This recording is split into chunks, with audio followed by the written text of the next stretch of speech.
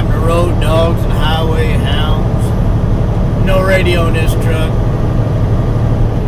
Enjoy the silence. I put one in here, but I just, I just uh, don't feel like it right at the moment. So today is Trump's inauguration day. If you know me, I'm a libertarian. Big Ron Paul supporter. I haven't voted for a Republican or a Democrat for a long time.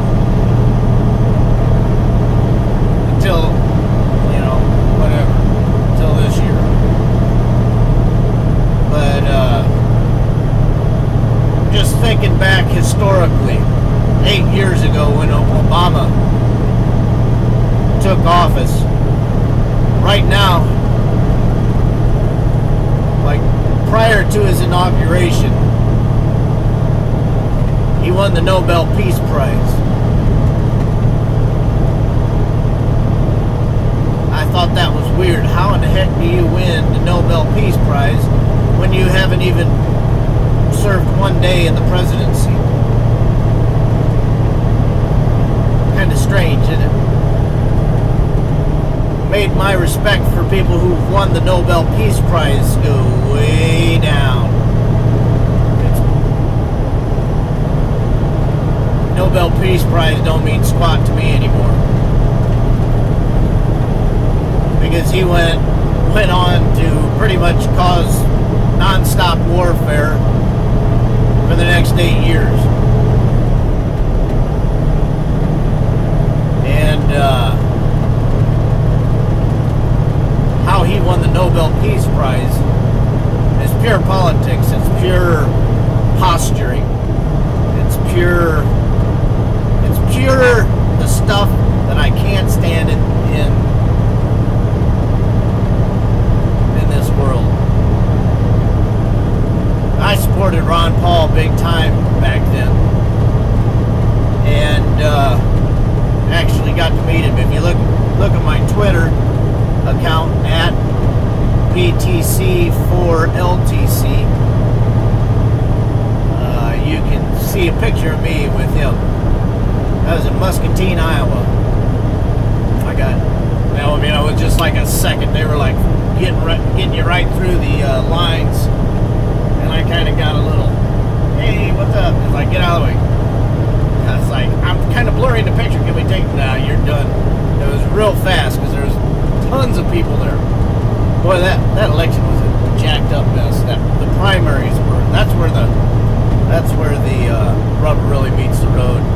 We had Republican uh, people in Iowa. I should do a I should do a video on that and recall what happened because I had a first-hand view of what happened in Iowa during the uh, during the primary race for Ron Paul. So I'm a big libertarian. I think the government uh, that governs the least governs the best. I'm thinking about Trump today because he's being inaugurated. And I'm and and I can't help but think back to Obama winning the Nobel Peace Prize before he got in office and going on to cause eight more years of warfare. And, and what I'm observing now from Trump, from the time he won the election until the time that he is uh, going to take office, what I what has he done? Carrier has come back from Mexico. They're not leaving anymore. Ford has come back. They're going to start rebuilding Detroit. General Motors building two plants, or I, I don't know. I'm, hearing all these things. Uh, Alibaba, that website, I got on there and looked at it, and see what it is. It's a wholesaler thing. You know, trying to connect with, with Chinese, uh, or, you know, manufacturers. Uh, something's going on with that about uh, a million jobs coming here. I don't know how that works out, but talking about moving, I, I don't know what's going on with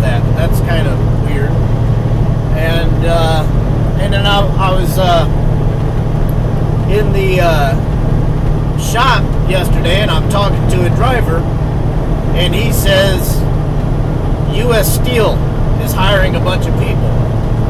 That interests me because I am a uh, I'm a flatbedder. I love flatbeds. That, that's what I, if I do anything, that's what I do. but uh, and you see, here's the thing, and I don't know if you know this about truck drivers, but we see the economy before anybody else does. If things are drying up, we see it first. Because as soon as things stop, believe me, we know about it. And uh, when he said that, I was like, oh man. Now you know what that means? That means there's going to be a lot of flatbed freight. I love flatbed freight. I love hauling low steel. Some people don't like to tarp it. They like pulling their sissy wagons and they can just, ooh, wow, Smokey Bear. Uh, they like pulling their sissy wagons to where they can uh, just shut the doors on it. But I would, uh, ah, yeah, we'll just hold it on there until we get by. Uh, ah, shoot. Sorry. You know how it is. But, uh, pulling their sissy wagons, they don't like hauling steel because you got to tarp it. But I do. I like it. Hello, Smokey. Freedom. That's why I don't wear my seatbelt. Hey, man.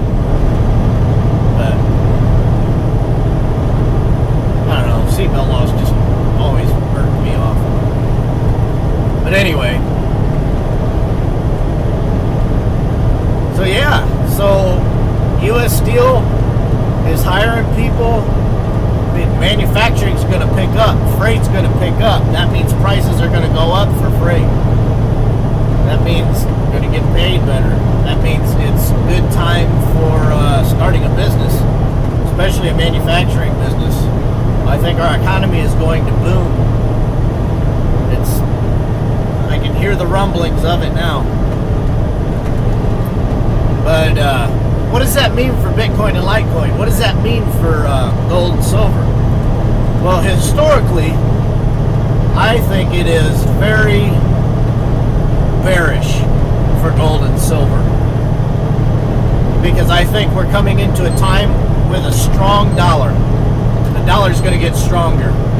Just like in the 80s after uh, Jimmy Carter and, uh, you know, you had the, the uh, I, I see prices in gold and silver going down.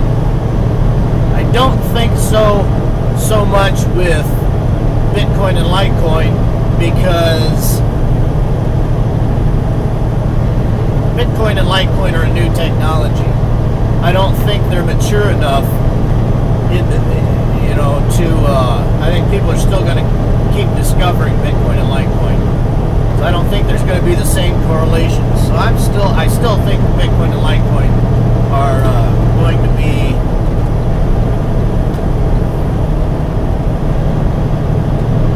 gaining in money. So I think I think the price is going to go up for Bitcoin and Litecoin. I think it's going to go down for so gold and silver.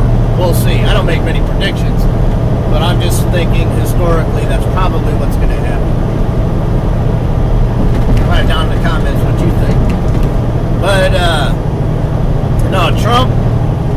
Trump, I'm not. Uh, I think it'll be good for the economy, but that's not how I. Uh, that's not going to get my approval. Oh, the economy's great, so he's great. What concerns me about Trump is that he has been a CEO. He has been a guy that says, "Do this," and if it doesn't get done, and it's and you know you're fired, right? And the way that George Bush abused executive power and drastically expanded executive executive orders unconstitutional anti freedom, anti liberty, anti American. And Obama took it to another degree. What I fear is that Trump is going to take it way beyond. And what I'm for is for getting back to the Constitution.